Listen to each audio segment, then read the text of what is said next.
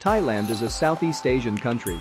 It's known for tropical beaches, opulent royal palaces, ancient ruins and ornate temples displaying figures of Buddha. In Bangkok, the capital, here's a look at the best places to visit in Thailand.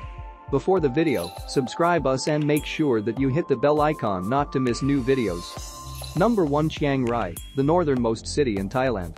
Chiang Rai Rice serves as the main commerce hub of the Golden Triangle, which contains the borders of Thailand, Laos and Myanmar. A busy town offering something for everyone. Chiang Rai is often used as a base for exploring the surrounding region. The town itself is quiet during the day when most of its package tourists are out on day trips. But at night the neon lights flash on and souvenir stalls and restaurants spring into action. Number 2, Pai. Once just a quiet village in northern Thailand, Pai is now a booming town.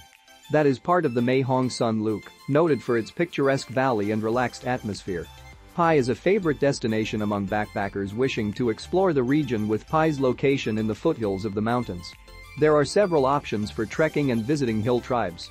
Also just outside the city are elephant camps and beautiful waterfalls. Additionally, the Pai River offers tubing and whitewater adventures. Number 3 Phanom Rung sitting on an extinct volcano in northeastern Thailand. Phanom Rung is a Hindu temple regarded for its outstanding architecture. The temple sanctuary was built by the Khmer between the 10th and 13th century as a dedication to the Hindu god Shiva, constructed on sandstone and laterite. Phanom Rung was built to represent Mount Kailash, the sacred home of Shiva. The complex faces east and four times a year. The sun shines through all 15 sanctuary doorways during these events. The park extends its hours, and locals celebrate with ancient ceremonies and modern sound and light shows. Number 4, Railay. Railay is a small peninsula that is only accessible by boat due to the high limestone cliffs, cutting off mainline access. These cliffs attract rock climbers from all over the world. But the area is also a popular attraction in Thailand due to its beautiful beaches and quiet, relaxing atmosphere.